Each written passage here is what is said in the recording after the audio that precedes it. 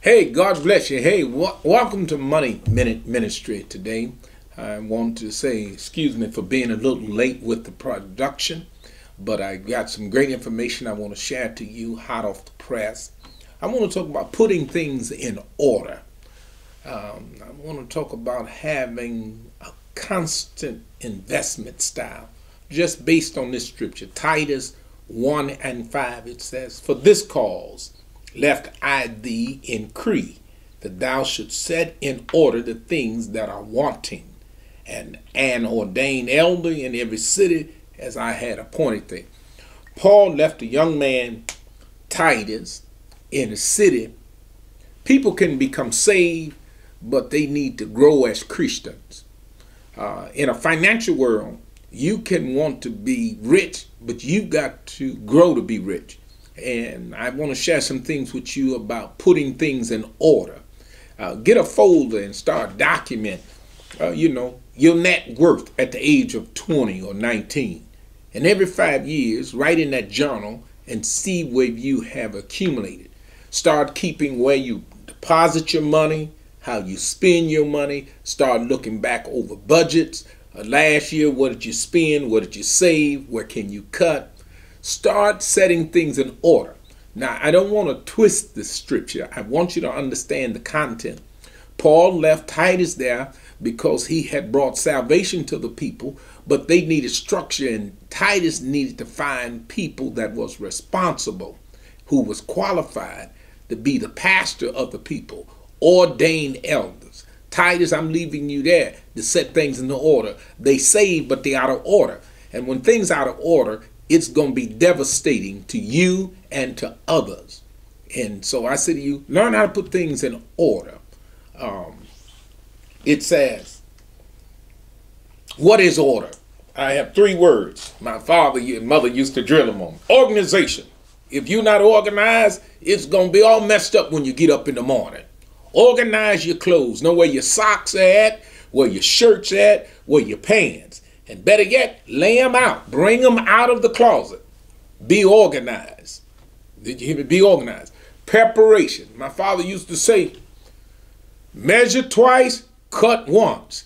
In other words, prepare, prepare, prepare. Preparation is 60% of it.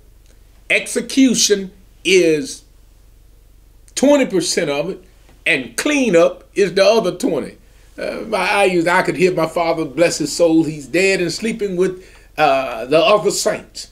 Uh, but he would always say preparation.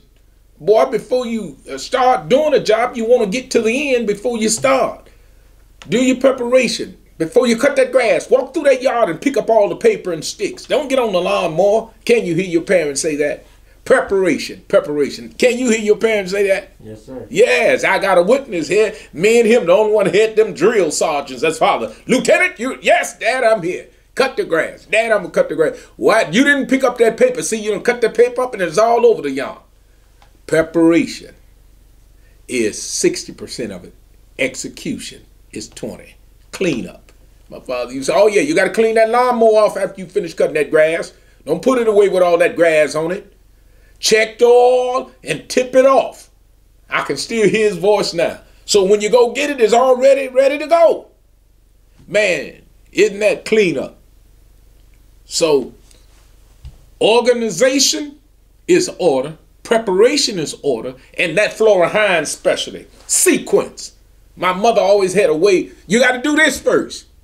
Son, you clean that kitchen up before you go in there and cook. She had a sequence. Don't go in there cooking and that kitchen is dirty. My mother had to say, oh yeah, dry the sink out. Mama, the, the sink gonna dry. Dry that sink out. All the dishes had to be washed before you go to bed at night and put away. I wouldn't wash them and just put them in the dish right. Uh-uh, Miss Hines come get you out of that bed. And she ain't saying, baby, wake up. Oh, y'all don't hit me. Some of y'all ain't got them great mothers that I had in my life. So I want to talk about Setting things in order is organization, preparation, and sequence. It's first things first, not second thing first. First things first. You know, get up, go in there and brush your teeth, comb your hair, feel like a millionaire was my mother words to me. That's the first thing I want you to do. And then make up that bed before you come down here for breakfast. Sequence. My mother had a method of how to do it. And that's what I want to talk to you about dollar cost averaging. That's our financial tip. Have a sequence. You're building towards a big pot of money. You can't get a big pot of money. Get rid of the quick get rich schemes. Help me now. I'm talking uh, old, old old people wisdom. I hope you get it, young people. I hope you get it, middle aged people, because you get old because you can live long. You don't get old because you die young. Let's look at dollar cost averaging, setting things in order. First of all, I don't have a lot of money. I come to that conclusion. And I've got a 20 year picture of I'm going to have a lot of money. So if you're 19, you can have a lot of money at 39. You don't have it at 19. But you got to get organized. Got first says, this is how much money I make a year. You got to make preparation. This is how much I've saved. This is how much I'm gonna spend on my car. This is how much I'm gonna spend on my girlfriend. This is how much I'm gonna spend on outing. Getting organized, having a prepar, uh, being prepared with your check, and then sequence. The first thing I'm to do is pay the law. They're to take the taxes and pay myself. And then everything else comes out of that. My father-in-law taught me that. Uh, Sammy Smith, God bless his soul, he would always tell me, pay yourself first, James. He didn't pay me well, but I paid myself. All praise God. I worked for my wife at the time, girlfriend parents. Yeah, they, they, they made sure they, their daughter would have a working man. They trained me to work. My parents trained me to work. But the sequence of my father-in-law, pay yourself first. I don't know who in the world go to work and is broke. That don't even sound good, does it, Brother Keejo? No, sir. Uh, what's, what's wrong with you going to work and broke? I'm always going to have something for that rainy day and that sunny day. I hear people always put something away for the rainy day. Well, there's some sunny days I'm going to have something too. That sounds pretty good. Listen here. Let me explain briefly dollar cost averaging. It's where you're sequential. You put a certain amount of money away every month at the designated time. Because, you know, now I'm starting to get organized. And you can help yourself by doing automatic withdrawals. Make sure somebody helps you to stay organized. You prepare yourself. I'm prepared to go to work. Well, I'm sequenced. Every Friday. When you get paid, Brother Keejo? Every Friday. Every Friday. So you ought to make a deposit every Friday of financial increase in your life. Can you do that for me, Brother Keejo? Yes, sir. All right, I'm counting on you. I need to borrow, uh, when, today is Wednesday, right? Yes, sir. Can I borrow $5 Friday? Yes, sir. I know you get paid. See, sometimes you ought not tell folk when you get paid. Because people make it a ritual, talk to you when they know you got money.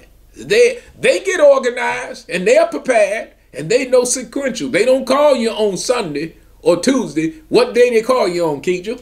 Friday. Oh, help me. Somebody said the eagle flies on Friday. Let me get to this dollar cost averaging. A mutual fund, and I'll explain that next week. XYZ, just to not to promote somebody product, a mutual fund, a no-load mutual fund. I'll explain that later too. January, the, the mutual fund price is $20. You invest 1000 You get 50 shares. Now I use the nice round number so I can be quick to say 50 shares. February comes. You invest your $1,000. Uh, the price is at $16. The price went down. You buy 62.5 shares. March come around.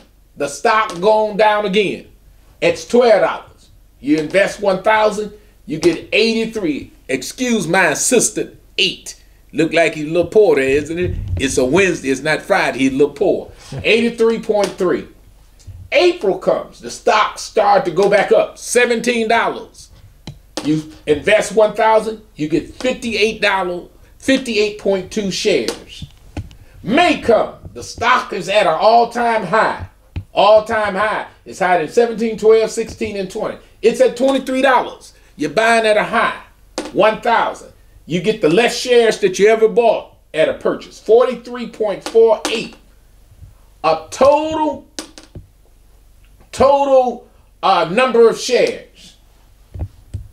298 shares and a fraction, 14. Get your fraction.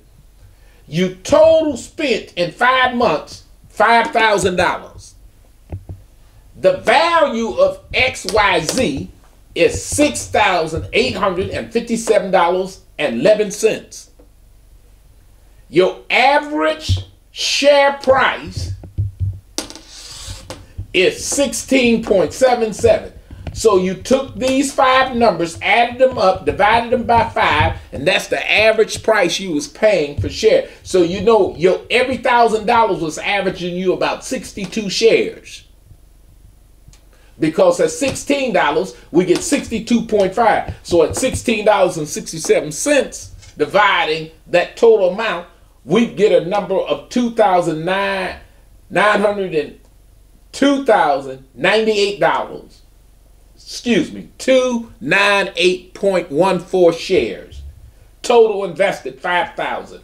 The value of it is 6,000. How? Because 298.14 times 16.77 equals $6,857. That's why you want to do dollar cost averaging. You buy up here, you buy down there, you buy here, you buy up there, you buy here, you buy here. And when you sell out, that's why you want to be in order. You want to have automatic withdrawals with your money because you're preparing for your future. And make it sequential. First things first, not second things first. You can't have a lot of money until you save a lot of money. That's something that I'm praying that many of you who have created a habit, taking a little and spending a lot. You got more debt than you got money, or you got more month than you got money. Learn how to start organizing your finance, preparing to spend in a certain order sequence. I sent you there to put things in order. God have put me here in your life to help you to get organized so you can grow spiritually and financially. And so I say to you, Titus 1 and 5, you might be a creek in your life or a creek in your life. But God has prepared people to help you be in the place God has ordained for you financially. And that's my word for this Money Minute Ministry, this JL JA production. Yours truly, Pastor James L. Hines. Until then, peace be with you.